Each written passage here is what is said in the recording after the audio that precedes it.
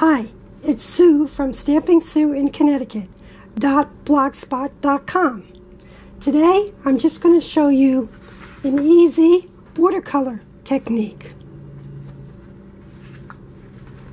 So, I have this cute little snowman. Happens to be by Unity Stamps. I stamped him with Archival jet black ink because it's a waterproof ink. And now we're just going to do some real easy basic watercolor. Taking my distress ink and I'm pressing it onto my craft sheet. I'm taking a, a water brush. It's just a brush with water in the barrel. Squeeze out a little water. Get it started. I have a towel over here on the side that I always wipe it off on. Now I'm just going to take some of the color and I'm going to put a little color in to his wings.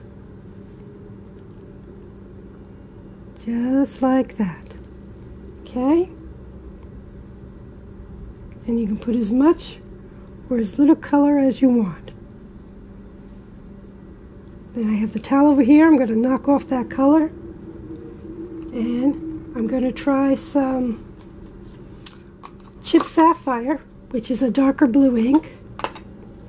And I'm just going to put some of that on my, pa my palette sheet here, craft sheet.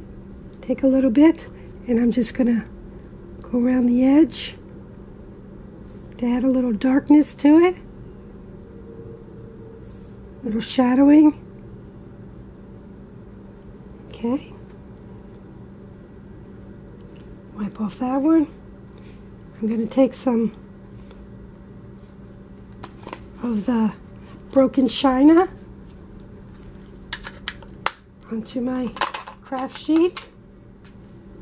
Take a little bit of that and we'll just color in his little patches. And we'll just add a little more color here to his wings.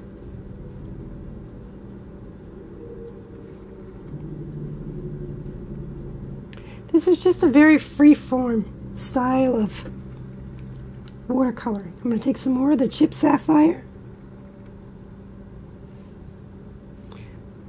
Just do his stick arm. Excuse me. And I like to put a little bit of the sapphire down here at the bottom of his sweater just to darken that up. Take some of the lighter. This happens to be the peacock. And just do a little bit of that. Put a little bit of color in his face here snowballs. And like I said, this is really free form. There's no thinking, just go for it. And then I'll add some sapphire. Just using all these blue inks. Wipe it off on the side on the towel. Then we'll take some of the wilted violet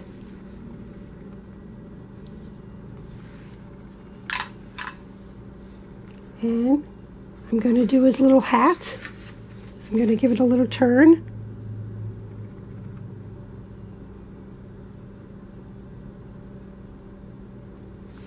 Like so. I like to give him a little rosy cheeks, but in this case we're going to use the wilted violet. Just give a little dot on the side of his cheeks. Like so. We'll give a little purple in his scarf.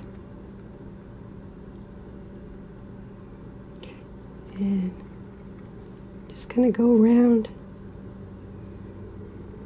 like every other square.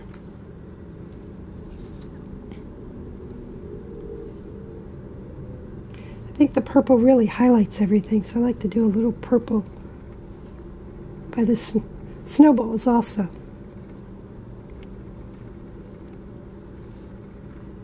And that's basically it. To flip this over so I don't get my cardstock going. And you can just keep going, color some more in.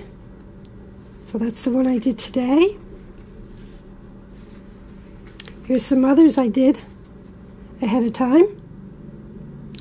And that's my easy watercolor technique for today. Thank you for stopping by. Visit Stamping Sue in to see more samples. Thank you.